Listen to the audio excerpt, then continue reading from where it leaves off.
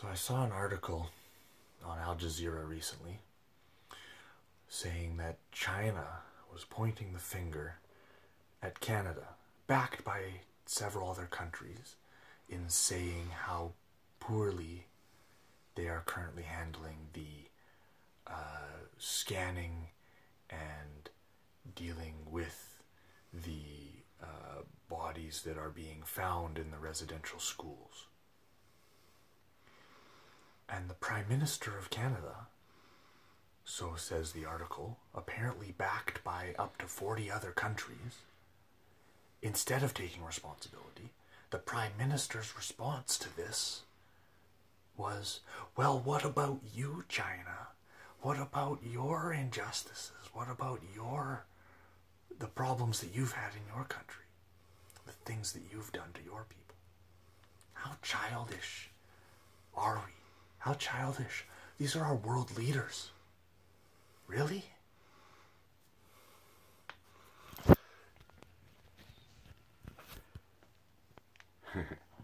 So, what would a more mature response look like? You know, I would suggest that a more mature response to uh, the Chinese leader's comment, just in, for, for, a particular uh, example here, would be to say, "Yes, you're right. We it is time for us to take responsibility. Clearly, we are uh, we've been on a path that we uh, have been denying, but clearly we cannot deny it anymore. Not in China, nor can any of us, and we need to get on this path together." we don't do that, do we? We are those childhood, people, childlike people out there saying, no, no, no, it's your fault. You did something. Oh, come on now, folks. Let's understand what is going on here. Who is at, who is responsible for this problem that we're facing here right now? We, can we just say, oh, it was the people of the past who did that? No, no, no, that's not how it happened. You, all of you, are living in a world where you are taking advantage of what those people of the past gave you, right?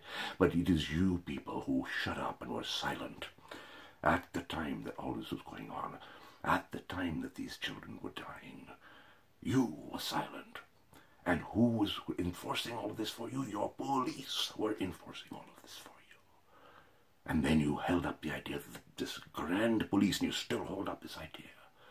This grand police out there is actually doing the right thing rather than throwing their weight around the uneducated, undertrained people who have been that way for a long, long time, just flexing their muscles, trying to uh, do what the rich people of this country and of the world have been trying to get them to do. Now, we have been reporting what's happened in Winnipeg and Fort Vermilion. Now, you understand, hopefully, this idea I've talked about before.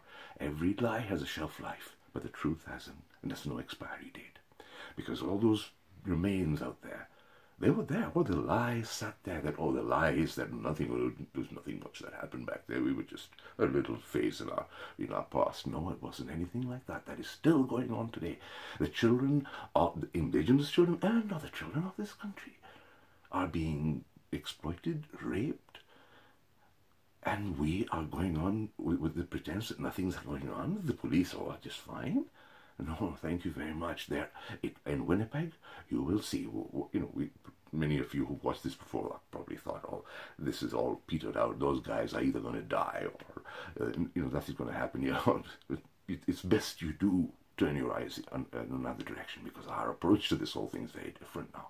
We're going to make very sure that this time around, these very people, the rich people, who have made sure that the eyes of the public are kept away from what is going on.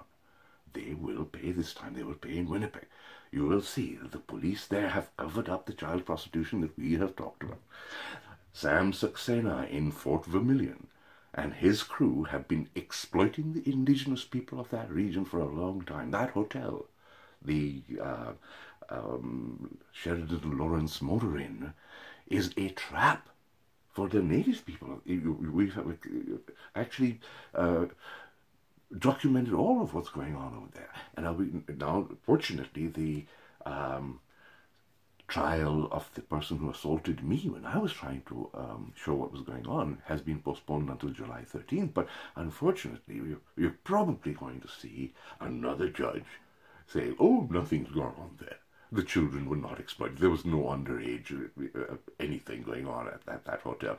And yet there's evidence of all of that. The RCMP are covering it up and they continue to cover it up. This is what we've been talking about. You might see in this moment, oh yeah, they're just, you know, trying to attract attention to something which doesn't really exist. But, oh yeah, I hope you can see that we're building towards something now. So, those people who are responsible state of what we, what we have done to our children, what we continue to do to our children in this world, you will